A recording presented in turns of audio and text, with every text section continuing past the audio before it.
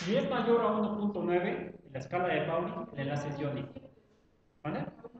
A 1.7, sí, mayor a 1.7. Es 1.9. Claramente es un enlace iónico. Vamos a ver eh, otro eh, muy parecido, porque es el siguiente átomo que está debajo del hidrógeno en la tabla periódica, que sería el litio. El fluoruro de litio. 4.0, el litio lo tenemos acá, 1.0. La diferencia de negatividades es 4 menos 1 es igual a 3. Este enlace es iónico, sin lugar a dudas. ¿Esto qué significa? Que es tan grande la diferencia de electronegatividades que propiamente el par de electrones del enlace están eh, probabilísticamente en un valor, vamos a decir, de P igual a 1 como máximo, casi en 1 es la probabilidad de encontrar los electrones de enlace sobre el núcleo del átomo más electronegativo, en este caso el flúor, tanto en el fluoruro de litio como en el fluoruro de hidrógeno. En ese caso sería, eh, entonces, al tener ese electrón de más que protones en el núcleo del átomo de flúor, tendríamos entonces aquí una carga positiva sobre el flúor y el átomo enlazado, dado que su electrón prácticamente no está sobre él, la carga del núcleo se manifiesta patentemente como una carga positiva. Aquí entonces tenemos dos especies químicas en cada molécula, un par de especies químicas, aquí estoy haciendo materias negativo, negativo, un anión fluoruro, un cation hidrógeno, un anión fluoruro, un cation litio. Tenemos un par de especies químicas con carga eléctrica. ¿Y esas cómo se llaman? Iones. Un ion es una especie cargada positiva o negativa, con, una o dos o n cargas más, o sea, puede ser tres, cuatro, pero con carga, será un ion. Si el ion tiene una carga negativa, como en el caso del flúor en estas dos moléculas, será entonces un anión. Carga negativa. Si el yo tiene una carga positiva, será un cation.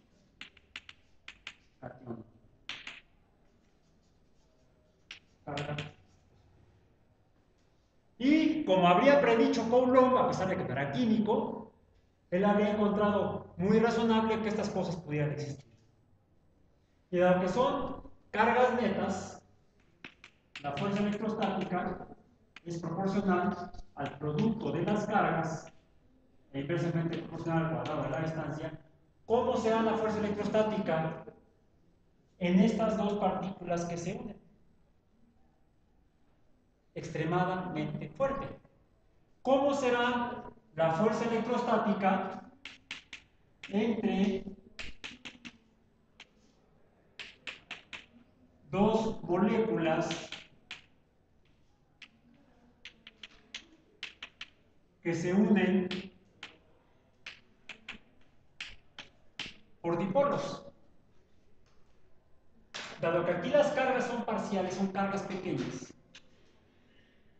¿Cómo son respecto a la unión entre partículas con carga eléctrica Será menor la fuerza de unión.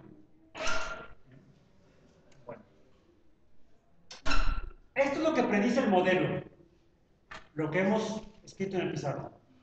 Lo que predice Coulomb. ¿Cómo lo podemos verificar?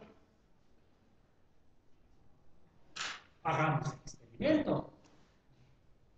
¿Cuál experimento? Muy simple. En lugar de usar esta molécula, porque esto es un líquido, podemos comparar esta con otra molécula que se parece mucho al etanol porque tiene grupos funcionales iguales, como puede ser la glucosa, o la pueden conseguir más fácilmente en su casa, que es eh, un dímero de glucosa y, eh, y, fructosa, que es la sacarosa. Bien.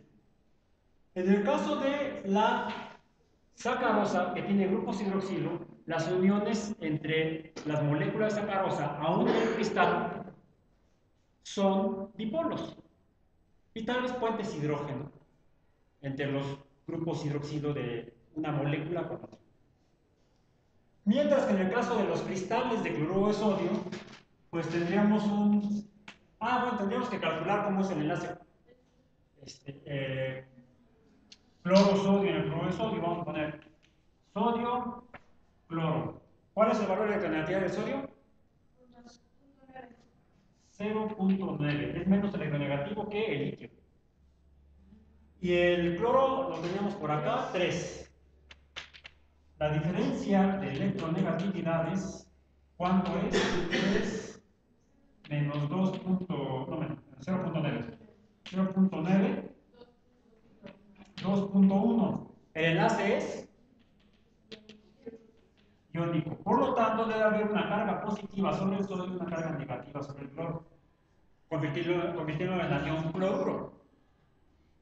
Entonces, el sodio tendría una carga positiva y estaría unido al cloro por la carga negativa.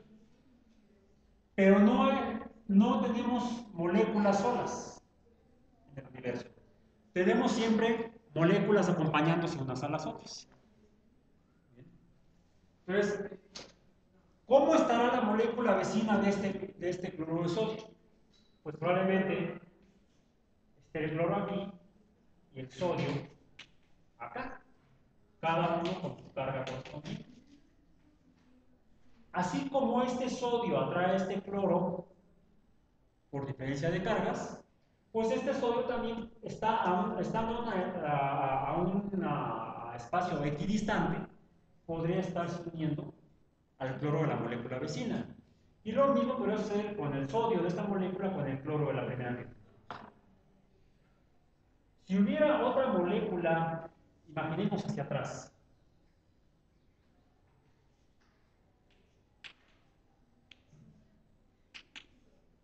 otro cloruro de sodio, estuviera, lo voy a ver, allá atrás. Pues igual este cloro que está atrás podría estarse uniendo a este sodio y este sodio a este cloro.